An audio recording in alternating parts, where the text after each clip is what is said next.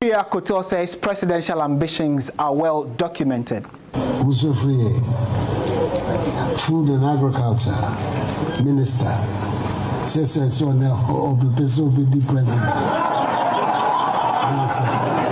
So it is no wonder that the conversation has turned to his presidential ambition after he announced he was quitting his role as the minister in charge of agriculture.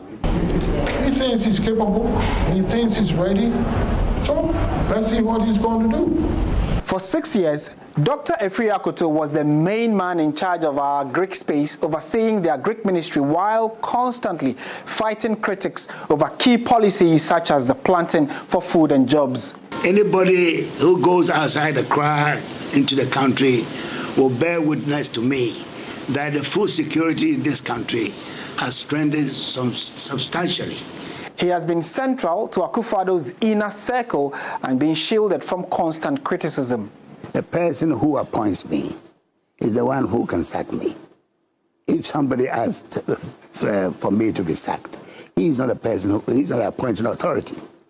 The 74-year-old Cambridge-trained agricultural economist is a two-term member of parliament for the Kwadaso constituency. He has survived several onslaughts, uh, especially during the implementation of the ministry's flagship program synonymous with Dr. Afriyie Akoto himself, which is the Planting for Food and Jobs, and most recently, the PFJ market.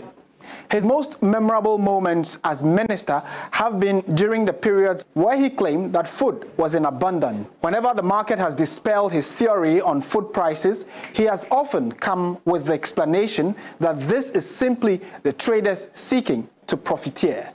The price that the final, the final consumer pays in Accra does not reflect all the costs if you put it all together. It's more than. So somebody is making a, a buck, making a, a, a supernormal profit. Now, he hopes to benefit from the good work he claims to have done at the Agric Ministry.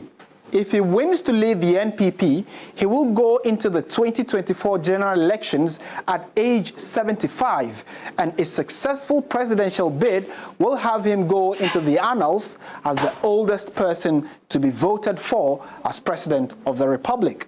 But even way before that, he has a Herculean task to impress the newly introduced college by the party to trim down candidates to three before they are presented to the bigger Electoral College of Delegates. Speaking to a champion.